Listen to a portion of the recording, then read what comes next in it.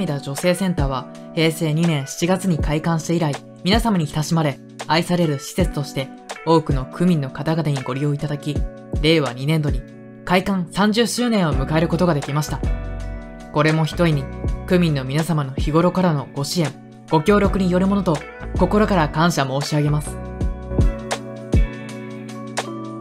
開館30周年を記念し、墨田女性センター周年事業鈴掛祭りを動画配信により開催します。鈴掛祭りは墨田の男女共同参画社会の実現に向けた拠点施設である墨田女性センターの PR を目的として区鈴掛広場委員会墨田女性センター登録団体により企画し実施していますこの動画では墨田女性センター登録団体の活動風景や紹介また隅田女性センターの施設の紹介などがご覧いただけます。ぜひお楽しみください。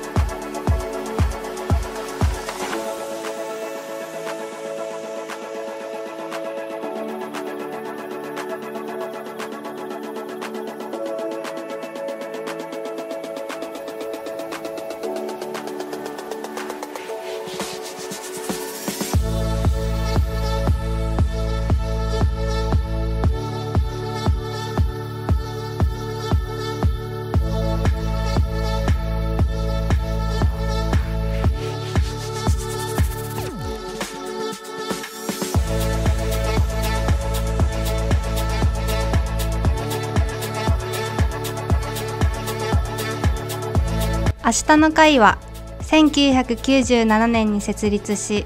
2011年3月までインドの女性自立支援女性生徒の教育支援をいたしました。2011年度以降東日本大震災でご両親を亡くされたお子様への支援。2013年よりアフリカ・ウガンダ共和国エイズ維持支援。2018年よりネパール子ども支援を開始しました。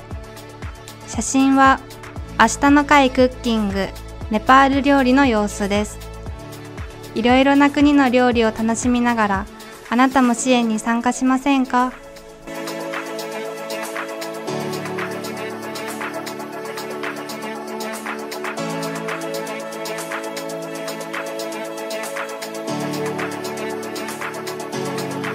家庭倫理の会は自分、家庭、地域、日本、地球を良くする活動を推進しています。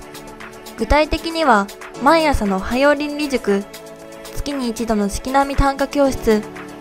秋津書道教室、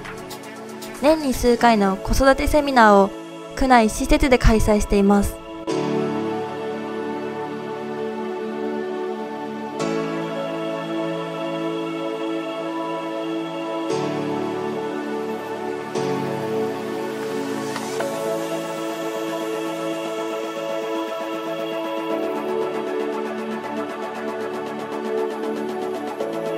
ガールスカウト東京都第121弾は主に墨田区内で月2回日曜日に活動しています。年長さんから高校3年生まで年代に合わせた学びや体験を通して生き抜く力を育んでいきます。仲間になって一緒に活動しませんか？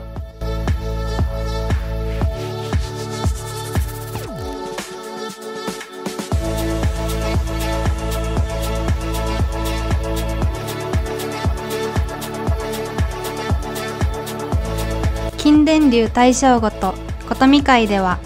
聞く楽しさから弾く楽しさへ多くの仲間と共に大正ごとアンサンブル演奏の稽古をしています。活動として各大会への参加老人施設へのボランティア訪問などをしています。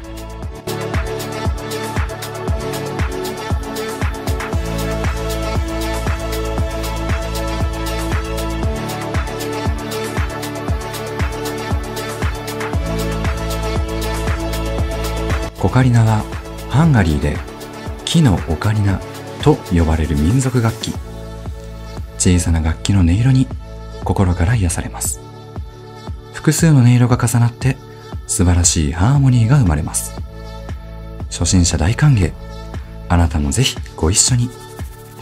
私らしく生きたい。そんな方へ。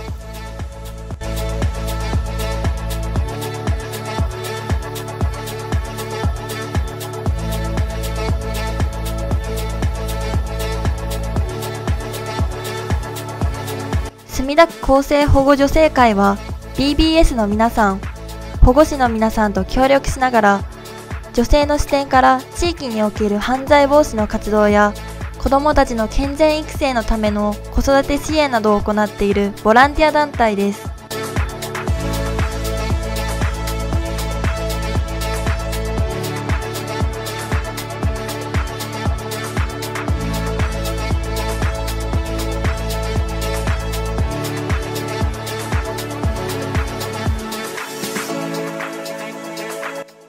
田区日本舞踊協会は墨田区文化連盟に加盟しています。流派を超え初歩から上級者まで日本の四季や心の金銭に触れる舞踊。伝統の和の文化で優雅に健康な体づくりを目指し国内外の方々にその魅力を体験し楽しんでいただく活動をしております。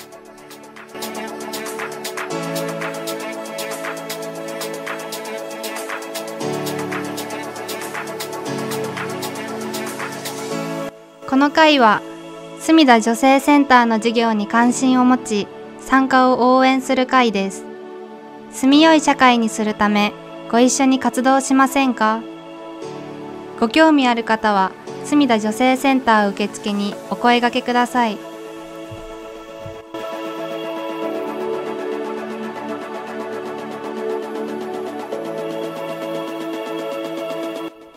墨田日本語ボランティア21は、墨田区の理念、共生に貢献できるように、外国の方の日本語学習のお手伝いをしています。引舟ボランティアセンターで月、水曜日に活動しています。日本語を楽しく勉強しましょう。お友達ができますよ。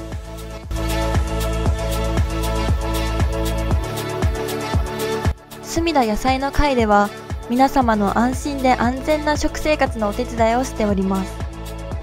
野菜果物の正しい知識を知ってもらい健康な毎日が送れるようにご提案しております。例えば野菜果物の保管方法美味しい食べ方などです。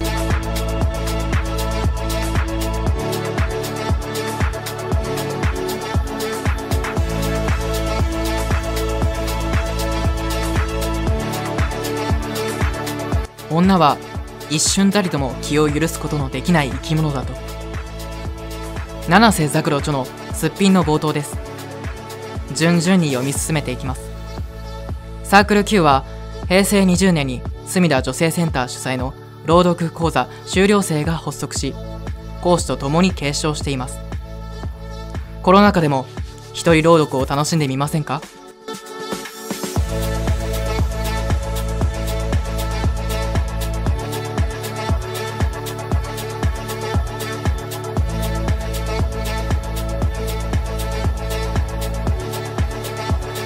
朗読奉仕草笛は昭和54年創立です。主に視覚障害者の方文字をそのまま読むことが困難な方に音訳図書を作成。高齢者施設やご要望で出前朗読をしています。和を大切にし活動を続けています。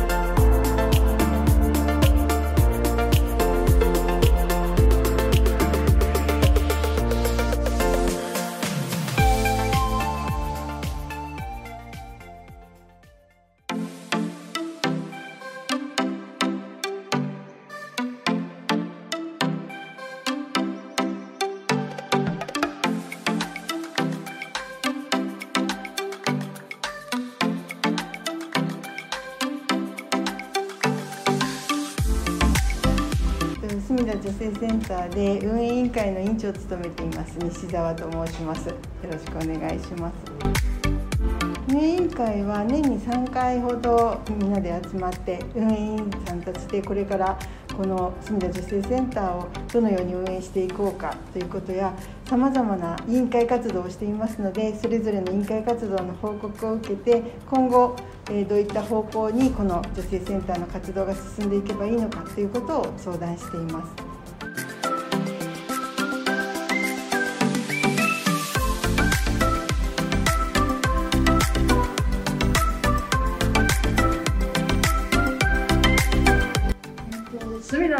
田女性センターでですね、えー、隅田男女共同参画の情報誌を出してます。これを練習させていただいてます。いろんな年齢の方いろんな立場の方が住みやすい隅田を作っていくための情報誌それから鈴掛ではそういう活動をしておりますのでぜひ皆さんもいらしてみてくださいそれから過去の鈴掛もバックナンバーもたくさん見られますのでぜひお手に取ってご覧になっていただければと思います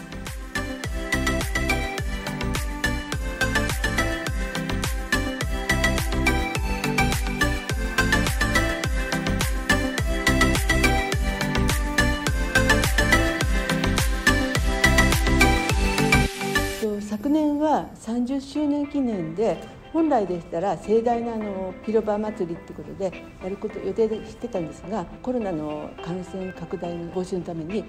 あの残念ながら中止になったので実施することができず今年が要するにあの1年多いんですけど30周年記念を行うことになりましたのででその際にあのこういう状況なので動画配信ということを新しい試みでやっております。名前が名称が隅田女性センターってことなのであのちょっとある種の考え方で女性ばかりが利用するのかなってあの中には思ってる方がいらっしゃるんですけどそうではなくて結局男女共同参画っていうことが一番のあの目的なので男性の方でもあっても女性の方でもあとはあの老若男女ですか？若い方も赤ちゃんもお父さんもねおじいちゃんもおばあちゃんも皆さんが利用していただけるこう施設になってほしいなって考えてます。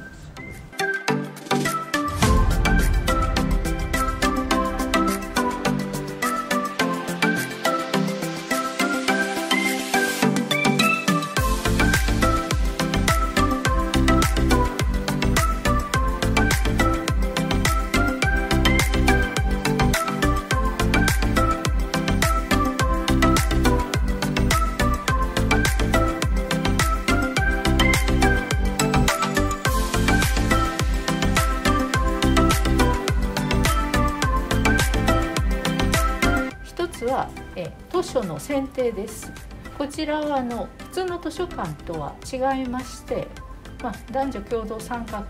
の推進のための、まあ、情報資料コーナーでございます。でその図書の選定ですけれども、えー、一つはですね男女共同参画に関するですね、えー、基本的なものですね。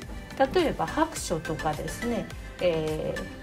他区それから東京都国のですねそういうあの関連の、えー、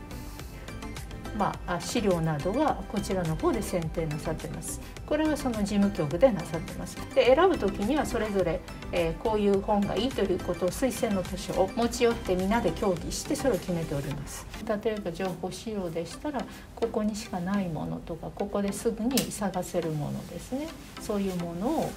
ぜひ活用してほしいということですね。